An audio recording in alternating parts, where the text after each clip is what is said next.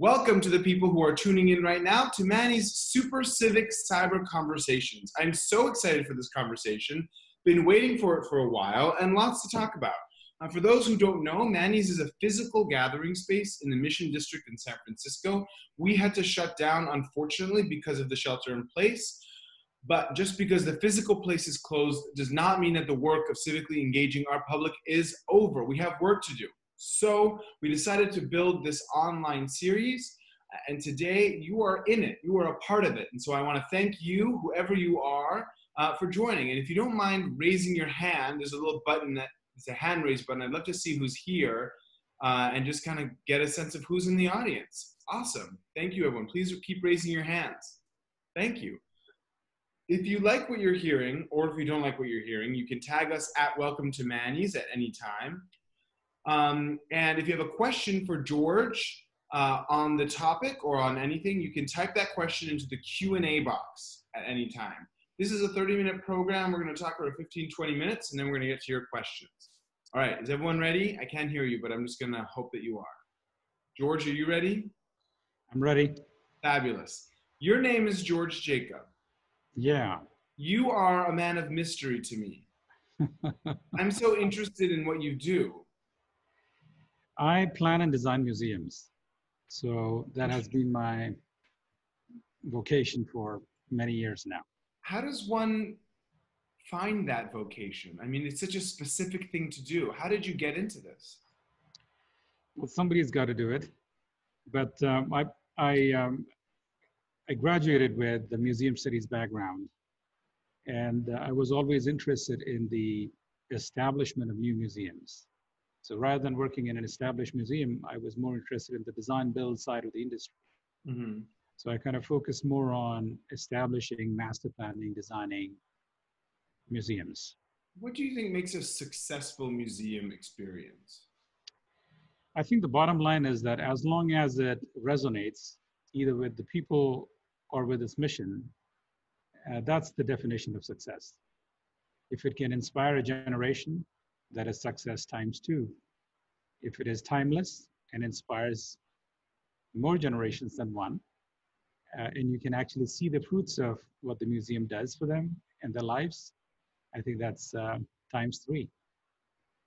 Well, so right now we have, I'm just trying to like lay out the architecture, and I'm going to ask you just so you know about where we've been, where we are, and where we're going. But I feel like let's put um, zoos aside for a second.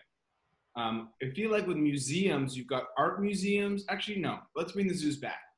In terms of these like physical places that people go to learn and kind of be acculturated, you have your art museums and you've got, you know, your classic art, your modern art, your contemporary art. You have your places with animals in them. So you've got your aquariums and your zoos and your, I don't know, parrot jungle in Florida kind of thing. Um, and then you have uh, like educational institutions that maybe are like they don't, they don't have art in them, but they're like places where you go and you like grow and learn, kind of like Cal Arts and Sciences, the Exploratorium, these places that are like maybe more about seeing and doing and learning. Can you tell me, one, did I miss anything? And then two, kind of how have you seen the evolution of these spaces from when you began in this industry, and I know you've been in it for a while, to where we are now? So a long time ago, you know, they started with libraries. So right. in second BC, the library in Alexandria was um, deemed to be the first of its kind, first museum. And then after the uh, World Expo in 1857, the Crystal Palace exhibit became a museum.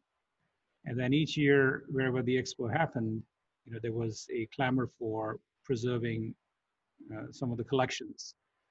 And then from the collections, they kind of grew as institutions of learning and they had activities and outreach efforts and so on and so forth.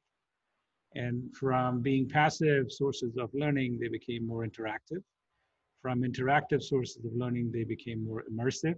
Mm-hmm. And with immersive sources comes the entire family of AR, VR, and all the cyber curation that you can think of. So the museum, as we kind of maybe think to know it is really like an, invention of the last 150 years. Is that what I hear right from you? In, in modern terms, yes. Uh, but if you look at their fundamental function as learning institutions, they've been in existence for a very long time. Right. So it started off as cabinet of curiosities. You would keep a three-headed snake or five-legged cow, mm-hmm. and you know you had the, uh, the, the mishmash of curios, and then eventually, once the process became more sophisticated, the interpretive planning became more sophisticated. You had you know museums as formalized institutions of public learning. And what about the um, the kind of museum like place that you find yourself in in the Bay Area, which is in the aquarium and kind of aquatic side of things. When did aquariums really start to become a thing? What's the oldest aquarium out there? Or what was the first aquarium? One of the first aquariums was in New Zealand, in Auckland.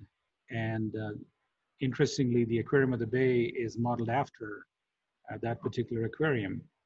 And there were three aquariums built in, the, in, in California that were modeled after the New Zealand model. And when it started here in San Francisco, it was a for profit organization called the Underwater World. Hmm. Um, it became a nonprofit about 10, 11 years ago. And then it changed its name to Aquarium of the Bay and became a nonprofit. Got it. I have to tell you, George, um, when I was in grade school, I was in Jewish school. I don't remember how old I was, but I went to on a trip to the Monterey Bay Aquarium, and it totally blew my mind. I mean, I remember it so vividly, and going to the petting pools, and uh, then we went to some tidal pools, and an octopus wrapped around my hand. And I'm I'm 30 years old now, and I still remember that moment so well and having so much wonder and like I can't believe there's an oct and it peed on me and I was like everyone laughed and I just it totally it it it excited me so much and so I want I want to ask you a little bit about the utility of these spaces, especially as it relates to inspiring young people. Kind of what you see in your work, actually running and creating um, all these museum spaces, uh, you know, all over the place. Well, specifically aquariums, um, you know, Aquarium of the Bay has been sort of a boutique aquarium for the last 24 years. And um, you observe all kinds of people fascinated by just the wonder of what the oceans offer in terms of biodiversity, aquatic life, and how these species interact with each other. You know, that has endless wonder. And mm-hmm. especially when you see little babies, you know, they stop crying and they're so fascinated by what's going on, especially in our tunnels. So that is quite a gratifying sight. But post wonder, I think, um, you know, what really hits home is our engagement with this amazing biodiversity. What are we doing as a species to uh, either make their lives more difficult or how are we actually helping uh, turn the tide, pun intended, uh, so that you know we um, we have a better uh, world that we live in mm-hmm. especially now with the earth day approaching next week. You know that is uh, very much on many people's minds. Right. So uh, i'm going to get tough with you a little bit okay? I'm going to ask some tough questions. First let's start with museums. I feel like uh, especially my generation you know people like to go to museums but but i do feel like there's a sense that the traditional museum if you walk into a big white building and you just stare at a, a painting for a while and then you sit on a bench maybe you get a cappuccino and you leave i feel like people are starting to get kind of bored of that. Do you feel like the traditional museum art museum model is shifting and do you think it has to shift in order to stay relevant? It is shifting you know it is significantly shifting. There is some value in the classical um, you know there is no substitute for uh, for that sort of um, a, a, presence uh, they are collective repositories of memory, collective repositories of talent, culture, heritage. So they, they have a sort of a, uh, a sanctity which is important in the conventional sense. Mm-hmm. What is happening more and more is that um, they're seeking new audiences. Right. They, they want relevance. They want uh, to resonate with you know a younger audience, and the younger audiences are increasingly getting impatient. You know they have uh, you know this device at their fingertips mm-hmm. where curated information is presented to them at lightning speeds so they don't really have the patience to wait for 18 months for a curated show to appear in a gallery. They'd rather look at it now. Mm-hmm. Um, so I think those are some of the basic challenges that the museums are facing, the conventional museums are facing, mm-hmm. as they embrace new audiences and they look to new sources of revenue. How do you see? Let's move to the the organic world. Um, I have two questions about both zoos and aquariums, and and I imagine looping the two things together is a mistake. So if it, if it is, please please correct me. But one, I feel like aquariums and zoos attract families, but like, how do you get? First of all, like, is that true? Do you see like, is are your attendees typically, you know, young adults, children, and parents? And if that is true, how do you attract like you know the folks who are 20 to 40? Right. So museums, you know, you have the nonprofit aquariums, for example, and then you have the for-profit aquariums that are owned and run by companies like Merlin. and uh, some of them are located inside shopping malls, or they are in multi-use hubs where there is commercial activity all around them, mm-hmm. and the aquarium becomes a byproduct of a captive audience, mm-hmm. be it Legoland or you know some of those other locations. Right. But the the classical aquariums like the Shedd Aquarium or the uh, Georgia Aquarium or the Frost Aquarium in uh, Florida and so on, they have a larger purpose. I mean, there is, of course, you know, they hold a million gallons to get two million gallons of salt water. They also have freshwater tanks. They also have terrestrial species so that they co-link the coexistence of all uh, life forms and they kind of tell a bigger story, mm-hmm. be it a story about climate, be it a story about carbon sequestration, uh, sea level rise, or ocean acidification, or microplastics, mm-hmm. and how our intervention has created problems or solved problems for uh, for the next generation. So I think the storylines are shifting mm-hmm. in terms of how to attract a younger generation, which is a little bit more tech savvy. Aquariums are uh, resorting to a few interesting things. Uh, you know, there are um, fun activities where you can actually doodle on, uh, on, on a screen and that pops up as a live uh, animal that floats or swims. Um, there are outreach activities where you use this sort of a Zoom uh, method of um, classroom-based teaching mm-hmm. um, that makes it more affordable and more quick. You can actually collate it with multiple sites yeah. in the Pacific or in the Far East and so on and so forth.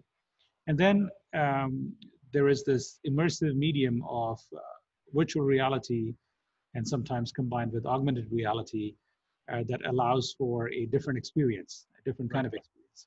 So we do have an AR platform that we use at the aquarium in Pier 39. Cool. And, and uh, it, it, allows you interactions with polar bears, with harbor seals, uh, and, and dinosaurs for that matter. Amazing. Um, I have three more questions if you'll allow it. And then if, if, for anyone that's tuning in, if you have a question for George Jacob, the international man of aquarium mystery, you can type it into the Q&A now. I want to talk about the treatment of animals. Is there a way to, to inspire the same set of wonder and experience the natural world without having to keep all these animals in these cages? I mean, it can't be comfortable even for the fish to like, you know, be in these small boxes. And I always feel like I enjoy going to the zoo and to aquarium, but then I feel bad for these animals that are like stuck in tiny boxes. You know what I mean? Right. So I think that question is uh, one of the uh, eternal questions that have made um, aquariums and zoos adopt and adapt to uh, spatial challenges. Um, they're also acutely conscious of um, uh, protecting preserving and conserving um, uh, the biodiversity and especially bringing it to uh, you and I so that we are more aware of the challenges that some of these animals face right. uh, outside of the protected premise. Yeah. Um, in many of these organizations, these are rescue animals. So they've been rescued from ah. fire or from a uh, polluted environment. Ah. So it becomes a safe haven for you know some of those species. I didn't know that. Uh, I thought that they were like plucked from the wild from their mama. Um, I didn't realize that there are a lot of safe animals. Well, that's good to know. I wish I. I it's good that it's good that I know that. Um, the Bay Ecotarium. holy shit. I mean, like, what is this thing? I had no idea this was a thing, George. I didn't know it was a thing. I didn't know what was going to happen. I didn't know what it looked like. First of all, it's gorgeous. Like, as someone who designs spaces, not me, you, it's just like I'm going to be so proud of it when it's up in the bay. So tell us about the Bay Ecotarium. Um, yeah, tell us about it. Like, what is it? What's the plan? When is it going to get built? And um, what's it going to look like? So, Bay.org, uh, or Bay Ecotarium as we call it now, has six branches. So, Aquarium of the Bay is one of them, the Sea Lion Center, the Bay Institute, Studio Aqua, and uh, the Bay Academy are some of the branches of Bay.org. About three years ago, we decided to do a master plan to rethink the Aquarium of the Bay, which is as you know, a bit dated and it has its challenges, both physical challenges and it has functional challenges and operational challenges as well. So we decided to rethink and rethink out of the box a solution that could address a number of things. There you go. That's the, uh, the, the vision for the new center. And uh, we came up with this uh, climate and ocean conservation living uh, ecotarium, uh, which hosts and accommodates the, the aquarium of the bay at its, at its core. Um, so currently the aquarium holds 750,000 gallons of salt water. That would be up to 1.5 million gallons, 2 million gallons. And then there is a, uh, a lecture space and so on and so forth. This is going to completely transform the skyline of San Francisco for the right reasons. It'll position the city as a champion for climate, ocean conservation. It has a mandate of providing free education to more than 250,000 children a year. It has some of the best minds in the world as our ambassadors and advisors, including Dr. Sylvia Earle, NASA astronaut Dr. Yvonne Cagle, the guru of emergency medicine, Dr. Paul Auerbach. It has some of the best uh, minds in the world working on it, some of the best designers from Germany, France, and Japan working on the core content and the immersive environments that are going to be inside the center. The interesting part about this center is that it uses Native American voices. There are about 96 tribes that have lived in the Bay Area for centuries. And some of their voices and some of their indigenous practices for environmental stewardship have never seen the foreground of the sort of leadership. So grounding that story in the Bay Area is really critical to us. And you know, using some of those voices to talk about conservation and environmental sustainability, especially as DG goals 14, 13, 17, and 19 mm-hmm. that focus on environmental justice. Those are sort of key elements of um, this premise. The building itself is a LEED platinum building. It's designed like a, a combination of Ohlone shell mounds and uh, the ocean geometry and fish scales. So it's got that iridescence. And um, geometry allows us to construct this um, edifice uh, as a prefab. So those of whom you're looking right behind where I'm sitting, uh, this is sort of the uh, uh, the building that you can see at the back of where I'm sitting. You get a sense of how this building is laid out. Cool. Between Piers 35 and 39. So is this, will it be where the existing Aquarium of the Bay is, or is this a new space? It's the existing space, but the footprint uh, expands a little eastward. I see. So are you, to, are you, to demolish the current aquarium to build this one? Parts of it. So the periphery of the current aquarium will be demolished. Mm-hmm. The tunnels, the classical tunnels that we have will remain with this life support system. And the, the canopies, the shells will actually gird it or, or, or cover it. I see, I see. And how close, like, what stage are you guys in? Clearly, the space has been designed. Has it been funded? Um, has construction begun? Like, where? What stage are you at? So on October 5th, uh, 2018, we unveiled this design to the public for the first time. Um, Mrs. Uh, Biden, Jill Biden, was here uh, for the opening uh, ceremony. Amazing. Uh, of the unveiling ceremony of the design. And subsequent to that, we've actually held about 130 uh, public and private presentations to solicit community input. And we've received some really valuable input from our neighbor, neighborhood groups and other community organizations. We've received some great support from SFSU, from UC Berkeley, and from Stanford, and some of the other organizations. Great. And we are now in the permitting process. So the process is likely going to take about 18 months. Mm-hmm. And subsequent to that, we, uh, we hope that we can uh, start working on the actual um, construction fabrication of exhibits and the, and the shell. Amazing. Um, this is my last question, and it's about kind of bringing us to today. George, you know, we may be reopening the city soon, uh, of course, with lots of restrictions. Um, you run many spaces, I think six, uh, that are all kind of about gathering, you know, in person. And so, how are you thinking about this? Are you nervous? Um, are you worried about the future and the sustainability of these important spaces in our city's life, given that you know we may we may be seeing six to twelve months of people not wanting to gather in person in large groups uh, anymore? No, that's certainly a concern. As you know, that uh, the American Alliance of Museums canceled their uh, San Francisco 2020 uh, Expo. No. Parts of it will go virtual, but um, the physical sort of gathering of 5,000 professionals or 8,000 professionals. Ah, where was it going to be? Um, it was largely at Moscone Center uh, between May 17th and 21st. Um, so May 17th is the International Museum Day.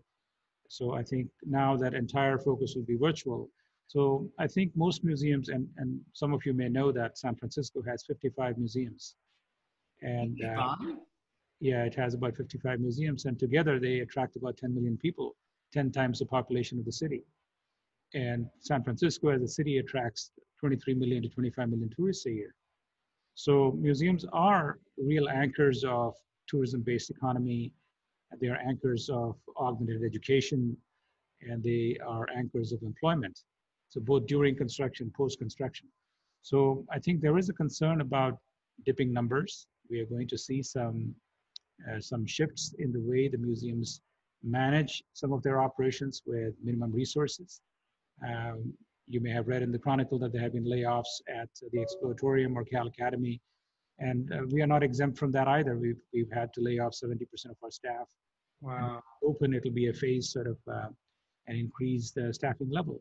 But the proximity of um, uh, you know visitors once we open is a concern. So our teams have put together a protocol of how the operations will be managed, how health and safety will be taken care of, both for our own staff and for the for the visitors. Mm-hmm. And then we are shifting a lot of our activities online. Mm-hmm. So education programs, uh, teaching programs, um, and some of those fun activities will shift online. Got it. Um, my final question is: I heard that the otters are sad. What's going on with the otters? Are they sad? The otters are still playful. Uh, we have four siblings, um, and they spend a lot of time sleeping. So they sleep about 16 hours a day.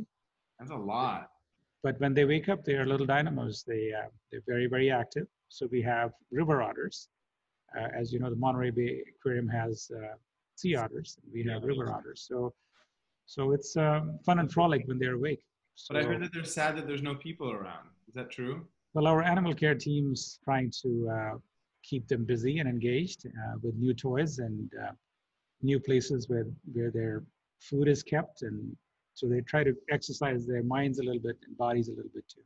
Okay, let's try to get let's get to some of these questions. Thank you for answering my George mine. Uh, Jess asks, what do you think is the biggest threat to the sustainability and future of museums? The biggest threat is uh, relevance. So, mm-hmm. You know, for museums to be viable, they have to be relevant to the demographic that they serve. And um, relevance is tied uh, one to the qualitative aspect of learning and education and enriching your soul and getting inspired. But on the quantitative side you know the dollars and cents uh, take center stage. And museums as you know have not all of them have good endowments a rainy day like uh, a forest fire or covid exposes that vulnerability of museums and they have to rethink their business model they have to rethink on how they engage with the communities. They also have to rethink the kind of voices that they have, either with city administration or with the county. Mm. Because, you know, most cities and counties have a travel association or a travel-based promotion organization like SF Travel in San Francisco and Visit California and Sacramento. that takes care of promoting travel. But the voices for museums need a special place, especially the nonprofits, yeah. because sometimes the conversation focuses mostly on hotels and motels and some of the allied sectors, and museums don't get that same sort of a bandwidth. Got it. David Henke asks, what are your thoughts for the future of hands-on experience for tactile exhibits that you find in science and children museums, children's museums? So I think tactility is a great part of learning. You know, all the five senses contribute to the learning processes. That, that octopus on my hand, remember? I can, I'm never going to forget it. Indeed. So the suction cups and, you know, all of those things are so memorable that it, it uh, kind of touches your core. And especially children are fearless, especially between six and nine. They will touch and feel all their surfaces, and that's how they imbibe um, knowledge, and that's how they associate with their environments. So I think there is no substitute for those uh, sensory inputs. Mm. And institutions like the Exploratorium uh, that offer wonderful tactile experiences or multisensory experiences uh, will be here uh, as long as you know we are relishing you know childhood environments and childhood inputs. Of course, uh, the biggest threat, of course, is uh, what is happening in the cyber world. More and more children, especially this particular generation, is uh, the screen age generation. They have not grown without a screen in front of their faces. So their sense of what is real and what is virtual is increasingly getting blurred. That's so sad. I hate it. I think it's destroying us. Sangita asks, the, the Association of Zoos and Aquariums has a bunch of guidelines for zoos and aquariums on enclosure sizes, ethical treatment of animals, etc. Do you believe that these guidelines are enough? And if not, what do you think needs to improve? I think the guidelines are very comprehensive. Uh, there is a very, very capable team at AZA that crafts and discusses and solicits input before some of these guidelines are made part of the accreditation process. Um, we are accredited by the AZA. There are 230, 35 aquariums and zoos that are accredited by the AZA. And these, the, uh, the process is really stringent. It is, uh, it's a very thorough vetting process and it's very stringent and there are subsequent reviews uh, even after you get the accreditation. Mm-hmm. So, and the, and the professionals on the other side also take it very seriously, okay. and they, they follow some of these guidelines and practices very very seriously. So, okay, I think we have time for one more question, my friend, and it's from. Um, oh my God! Wait a second. Melissa says that if anyone wants to check out the River Otters romp and play, you can view them through our live webcam. Melissa, where's this webcam? Can you can you type in the question or George, where's this otter webcam? So Melissa Schwest is our director of animal care. Hey, Melissa. And she is uh, she's been at the aquarium for many years, and she and her team have been really really good all through the COVID crisis. They have been here 24/7, taking care of Amazing. a very large number of animals and 186 species that we have. Damn. Hey, Sam, can you find the Otter webcam and put it in the chat box, please? Thank you. Um, Randy asks, last time I looked, many of the newest and most remarkable modern museums are located in the Middle East. Which museums in the United States would you recommend visiting that would represent the best of what to expect in the future? Ooh, interesting question. Middle East, you know, three comments. Saudi Arabia has um, the Museum of World Cultures. Uh, Dubai has, of course, uh, Ferrari World um, and some of the uh, most recently the Museum of the Future that is coming up in Dubai. It was supposed to make a debut at the Expo 2020 that got postponed, but that is a phenomenal 3D printed, massive uh, setup. It is worth a visit. Printed, 3D printed museum? Yeah, the building is 3D printed. It's a very sophisticated project. That's crazy. What's it called? The Museum it's called the, the Museum of the Future. Oh my God, I'm, I can't wait to look it up. Yeah, and then, uh, of course, the Saadiyat Island has six phenomenal museums, uh, about $300 million a piece. So, yes, some of the finest and the best museums are coming up in uh, Doha, Qatar, and other places. And in the US, of course, uh, the museum movement has been on um, a slightly slower pace. Uh, but there are some interesting museums that are coming up in New York and uh, Seattle and elsewhere, focused on popular culture and some of the other unusual topics. Um, and, you know, with the time, they'll continue to evolve. George Lucas is setting up as we speak the Museum of the Narrative Art in Los Angeles. Uh, that is going to be phenomenal when it opens. And um, the other museum that is about to come up is the uh, Oscars Academy of Motion Pictures oh, Museum. Oh yeah, I saw them. I saw the space for it. I'm from LA, and I saw the the building that they chose. Um, and then there's also that, there's that big art museum that the Waltons are building, isn't it? Aren't they? Yes, the the Waltons Art Museum is called the Crystal Bridges Museum. Uh, that was designed in uh, by in Bentonville by architect Moshe Safdie, mm-hmm. and uh, that has been around for a while. Uh, but again, it is a campus, a phenomenal campus uh, that accommodates both uh, classical and contemporary arts. Can I tell you what museum I've always wanted to go to, but I've never been able to? Yes. Okay, I'm going to tell you two things. I'm going to tell you the, my favorite museum that I've ever been to, and then the museum that I've always wanted to go to, but I haven't been to. Okay? My favorite museum that I've been to and I, I'm obsessed with is the Victoria and Albert Museum. I love the Victorian Albert, Albert Museum, which will kind of reveal a little bit about me. But I just think it's so gorgeous. And they open it up on Friday nights and they play live music in the courtyard. And I met this amazing guy in the um, Raphael room. Have you ever been in the Raphael room? Yes. Ah, it's so amazing. Yes. And I forget his name, but he was also amazing. Anyway, that was the Victorian Albert. My, my the museum I've always wanted to go to, but I've never been, is the Milwaukee Art Museum because I love Calatrava and I want to see the bird. Can you tell people about the Milwaukee Art Museum? Right. So the Santiago Calatrava is a master of architectural geometry, and uh, of course, the bird is a phenomenal, unique institution. It actually contributes to a kinetic sculpture, mm-hmm. and you see some of similar Calatrava installations in Toronto and also in um, in Spain. Oh yeah. no, yeah, in Spain. Yeah. Um, no, Bill, I'm miss. I, I'm. Oh, I think I'm messing it up. Anyway, I want to ask you two hard questions. What's your favorite museum to visit that you're not responsible for? And what's your favorite marine animal in the aquarium? Well, I like the seven-gill sharks. Um, they have not evolved in millions of years, and I I'm fascinated by watching them. And um, my favorite museum is actually um, where I've not been involved with. That's not uh, one of your museums, George. I, I, saw a very small museum. Of course, the, the big ones, of course, are there. You have the uh, the Bilbao by the Guggenheim, yeah, um, yeah by Frank Gehry, uh, and then you have the Louis Vuitton Museum by Frank Gehry outside of Paris and of course the Louvre. You know, there are so many of those big ones that are that are interesting and you know, fantastic. But some years ago, I was in Zagreb, in Croatia, and I saw a very small museum called the Museum of Broken Relationships.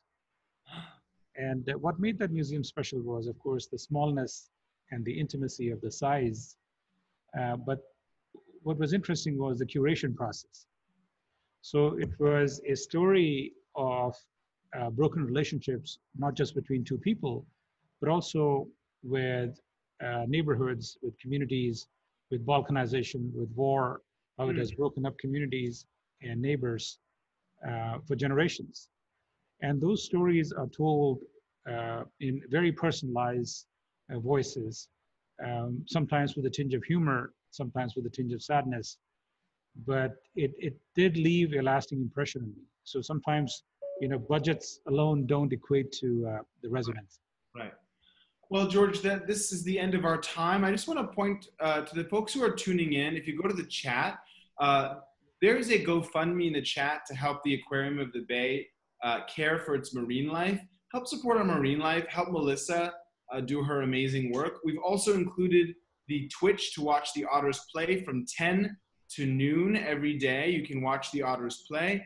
And finally, I do want to make a request that you uh, go into the chat box and click on joinit.org slash o slash Manny's to become a sponsor of Manny's. I am 12 sponsors away from my big goal of how many sponsors we wanted to get in order to sustain our space. 12 away, so I really hope, I love making my goal and we need 12 more. Um, it's $36 a month. You can go to joinit.org slash o slash Manny's or you can go in the chat box. The link is there. I want to thank my staff, my amazing staff, uh, Jupiter, Ram, and Sam, and Sam is the operator on this call. I want to thank you all for tuning in on this Friday evening to hear from one of the one of the treasures of San Francisco, George Jacob, um, and also he's a treasure because he runs the treasures of our city. Um, if you haven't gone to the Aquarium of the Bay, go. If you're willing to donate um, or become a partner or sponsor to the Bay Ecotarium, go to bay.org. It's really exciting and interesting. And um, be a doer, be a supporter, and help you know, allow future kids like me when I was a you know, be inspired by octopuses and all that, octopi. And uh, that's it. George, do you have any final words? No, thank you so much for um, you know making this happen. I'm sure uh, we'll have more questions. Uh, please log on to our website. It is uh, very simple, bay.org or bayecotarium.org or aquariumofthebay.org. All right. Thank you, George. Thank you, everyone, for tuning in and have a wonderful weekend as much as you can. Bye-bye.